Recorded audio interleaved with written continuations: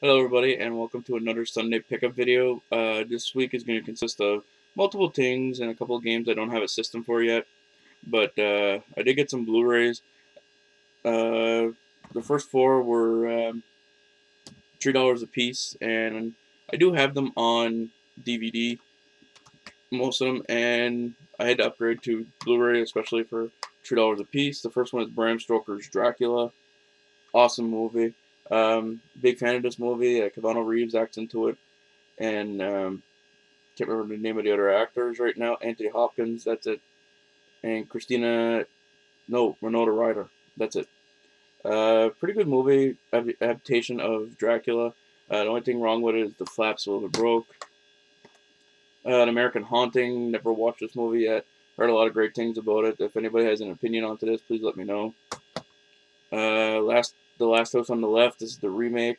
Um, wasn't a big fan of this one, but for three dollars I had to upgrade because I have it on DVD. Um, did have some popular scenes into it. The the last scene in the movie was fucking awesome. So, and then I picked up this one. I've seen it before. I just can't remember too much about it. It's the Haunting of Winchester House. Uh, I believe I've watched this. I think on Netflix or on TV or something like that and it wasn't that bad of a movie. Like I said, for uh, for three bucks, I couldn't pass it up. Uh, this one here I paid two for, and it's Don't Be Afraid of the Dark. Also had this on DVD. Had to do an upgrade for uh, upgrade to my uh, to my collection. Katie Holmes acts into it. Didn't hear too much great things about that. So uh, next is gonna be PSP movies that I got online. Um, through my Amazon account, uh, through Swagbucks, so they were free. And the first one is Pirates of the Caribbean: The Curse of the Black Pearl. Awesome movie. I don't know how the quality shakes up in UMD form, but and the first Matrix. Um, yeah, I guess this is a Keanu Reeves uh, pickup video. Um, I didn't see that until now, but uh, yeah, DVD picture quality says on the back and everything like that. So, uh, then I picked up a couple games at my local game store. Uh, first one is Nano Assault on the 3DS for five dollars. Uh, looks like a fun little shoot 'em up, and I believe someone had this in their Hidden Gems games. I'm not 100% sure, but it's made by Majesto, Majestico.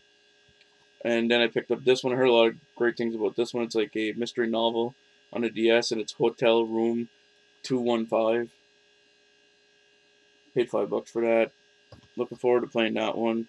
Uh, I seen this one on a Metal Jesus Rocks Hidden Gems on the DS, and for ten dollars, I thought it was a great deal. So, and it's made by Square Enix. It's Dragon Quest Heroes Rocket Slime. Looks like a fun little game, uh, especially the stuff in the back. And when I seen it on the review, I had to have it. Uh, I also picked this up. It's uh, Dragon's Lair on the Super Nintendo. I'm looking to beef up my Super Nintendo collection, so I had to put this in. I believe I paid seven dollars for this. And then these two games here, I paid ten bucks a piece for PlayStation 4 games. I don't have a PlayStation 4 yet, but I'm planning on getting one in the near future. Maybe within the next year, year and a half, I'll have one.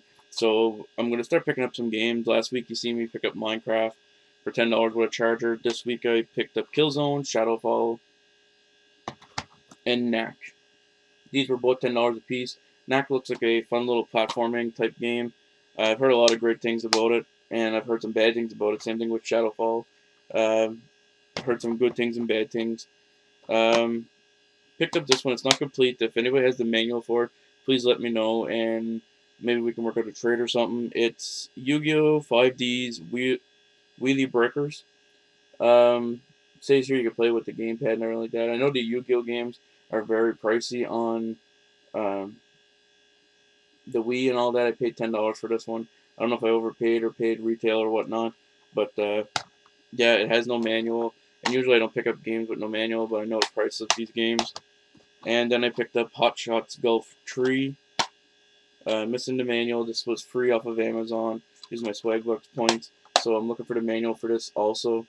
Uh, if anybody has the manual, please let me know. And uh, we can work out a trade. And that's my pickups for this week.